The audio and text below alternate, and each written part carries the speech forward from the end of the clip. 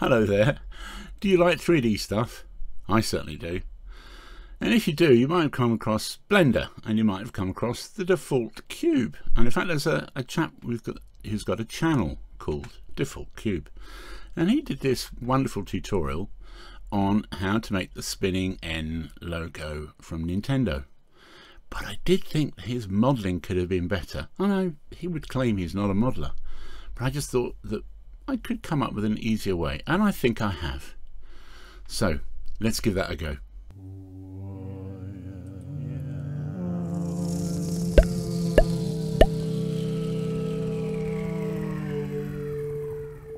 So here we are in Blender. This is the default cube. I'm going to edit mode and I'm going to put in some loop cuts with control R. Scroll up, left click, right click, and then that just puts in these nice double loop cuts and then just do single ones here.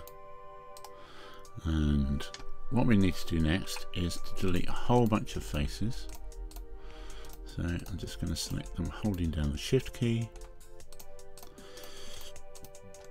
I don't think there's a much quicker way. There might be a quicker way of doing a sort of a loop select and then adding to it, but I don't think it makes much difference. That's the ones we need. X, F, so kill those faces. And then what we want to do is we want to join this edge here to an edge that doesn't yet exist that would be here. Not a problem. What we need to do is to put this temporary face in. We just do fill that. Control R, loop cut, same thing, scroll up, click, right click. That then gives us that edge that we need. And the reason we're doing it that way is because we know it's sort of geometrically exactly where it needs to be. And so we just need to do the same thing on this side. So select those two edges. Fill, Control R, scroll up, left click, right click to leave it nice and neatly in the center. And now we've got that edge that we can join with that and to fill. And we we've got the geometry now from doing that for that side to work on the other side. So let's put that diagonal in and do the same here. And are, we're kind of sort of breaking rules by having sort of faces joining on. That is not something that you would ever be allowed to do. But we're going to delete that face in the end anyways. So let's delete the faces we don't need right now. So that's the one we'd keep. That's the one that's inside, as it were, the N. So you can see we've got quite a lot of the geometry there already.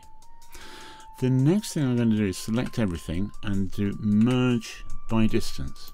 Because of the way we did that, do you see how it says down here, removed three vertices? You may not be able to see that on your screen, but it left vertices that were kind of, uh, you know, stray as it were and so that that should have tidied things up nicely.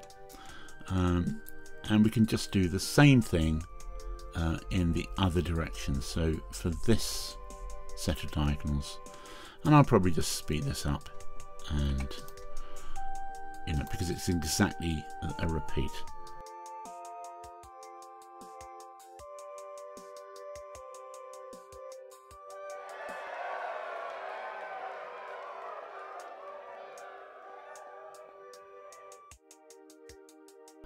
Okay, so we've now got those diagonals and we're just going to do the same thing we did before, which is uh, to select all the faces that we don't need. And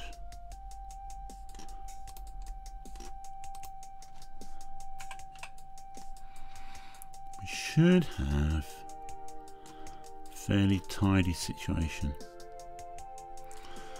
So let's select um, edge select again.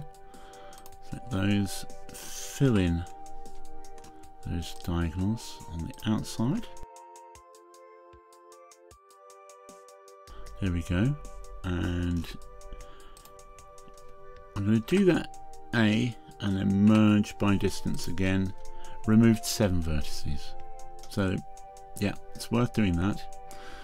And then all being well, we should be able to just, oh, not that one, uh, just do the F thing um, because when you're at the, the sort of in the, the, bottom of a U, as it were, of edges like that, um, you can hit F and it will just fill it in. And it's it's obviously happy to do that, but if I do it F again, it sort of tries to yeah, it's doing putting a face where it can't really because uh, it doesn't know that I want it to go down to there to join that up. Um, so let's just do the ones it is happy with first. And then I think, let's try that. Yeah, that's it's happy with that. It can work it out. It knows what I mean. And I think we're done, he said. Okay, let's have a quick look at it. Yeah, it looks all right get out of edit mode and there is your nice N. we could just check, we go into the edit mode, a merge by distance and it removed naught vertices. It's not a guarantee that everything's perfect, but I think that's pretty tidy. So I hope you enjoyed that and I hope you agree that it's a bit easier. Maybe you don't. Do let me know in the comments. And do, if you haven't checked out Default Cube's channel, make sure you do. Uh, it's brilliant. And he's got an awful lot more subscribers than I have. So if you felt like subscribing, that would be really cool.